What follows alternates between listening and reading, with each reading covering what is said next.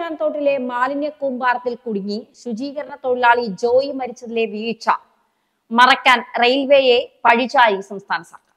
റെയിൽവേയാണ് മാലിന്യം നീക്കാത്തതിന് ഉത്തരവാദിയെന്ന് ആരോപിച്ച വിദ്യാഭ്യാസ തദ്ദേശ സ്വയംഭരണ മന്ത്രിമാരും മേയർ ആര്യ രാജേന്ദ്രനും രംഗത്ത്. മോർച്ചറിയിൽ മേയറുടെ വക കണ്ണീർ നാടകവും ജോയിക്കായുള്ള തിരച്ചിലിനിടെ ടൺ കണക്കിന് മാലിന്യം പാറ പോലെ കെട്ടിക്കിടക്കുന്നത് ദുരന്ത നിവാരണ സേനയാണ് കണ്ടെത്തിയത്. മാലിന്യം ഉറച്ച പാറ പോലെ ആയതിനാൽ രക്ഷാപ്രവർത്തനം സാധിക്കില്ല എന്നും അവർ പറഞ്ഞു. ഇതോടെ മാലിന്യ നീക്കത്തിലെ നഗരസഭയുടെ വീഴ്ചയും പുറത്തു വന്നു. ഇതിൽ നിന്ന് ശ്രദ്ധ തിരിക്കാനായി മേയറും മന്ത്രിമാരും റെയിൽവേയുടെ ചുമലിൽ ഉത്തരവാദിത്വം കെട്ടിവെക്കാനുള്ള നീക്കം ആരംഭിച്ചു. മാലിന്യ നീക്കത്തിന്റെ ഉത്തരവാദിത്വം ജോയിക്കുണ്ടായ ദുരന്തവും റെയിൽവേ കാരണമെന്നാണ് മേയർ ആര്യ രാജേന്ദ്രന്റെ വാദം. ഖര മാലിന്യം സംസ്കരിക്കുന്നുവെന്ന റെയിൽവേയുടെ വാദം തെറ്റാണെന്നും ടണലിൽ റെയിൽവേ ഖരമാലിന്യം നിക്ഷേപിക്കുന്നുണ്ട് എന്നുമാണ് മേയർ ആരോപിക്കുന്നത്. ഇതിനെ കുടപിടിച്ച മന്ത്രി വി. ശിവൻകുട്ടി രംഗത്തെത്തി.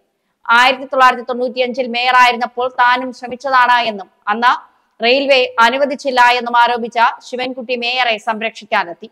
ജോയിയുടെ മരണത്തിന് ഉത്തരവാദി റെയിൽവേ ആണെന്നും കുടുംബത്തിന് പരമാവധി നഷ്ടപരിഹാരം നൽകണമെന്നും വി. ശിവൻകുട്ടിയും ആവശ്യപ്പെട്ടു. ശിവൻകുട്ടിയെ പിന്തുണച്ച തദ്ദേശ സ്വയംഭരണ മന്ത്രി എം പി രാജേഷ് രംഗത്ത് വന്നു. പലതവണ റെയിൽവേക്ക് നഗരസഭ കത്ത് നൽകിയിരുന്നു എന്നും എന്നാൽ നടപടിയൊന്നും ഉണ്ടായില്ല എന്ന് എം പി രാജേഷും പറഞ്ഞു. എന്നാൽ രണ്ടായിരത്തി പതിനഞ്ച് പതിനേഴ് പത്തൊൻപത് വർഷങ്ങളിൽ കോർപ്പറേഷനാണ് അപകടമുണ്ടായ ഭാഗം ശുചീകരിച്ചത്. ഇത്തവണ കോർപ്പറേഷൻ അസൗകര്യം പറഞ്ഞപ്പോൾ നല്ല ഉദ്ദേശത്തോടെ റെയിൽവേ ഏറ്റെടുക്കുകയായിരുന്നു എന്നാണ് A D R M M R Vijip മാധ്യമങ്ങളോട് പറഞ്ഞത്. അപകടം നടന്നത് റെയിൽവേയുടെ നിയന്ത്രണത്തിലുള്ള ഭാഗത്തെന്നാണ് റെയിൽവേയെ കുറ്റപ്പെടുത്താൻ സർക്കാർ കണ്ടെത്തുന്ന ന്യായം. എന്നാൽ മാലിന്യം ഒഴുകിയെത്തുന്നത് നഗരത്തിന്റെ വിവിധ ഭാഗങ്ങളിൽ നിന്നാണെന്ന വസ്തുത നഗരസഭ മറച്ചുവെക്കുന്നു നഗരത്തിലെ ചെറിയ ഓടകളിലും തോടുകളിലും ഉൾപ്പെടെ മാലിന്യം കുന്നുകൂടുന്നത് എന്തുകൊണ്ടാണെന്ന ചോദ്യത്തിന് മുന്നിൽ ഉത്തരമില്ല.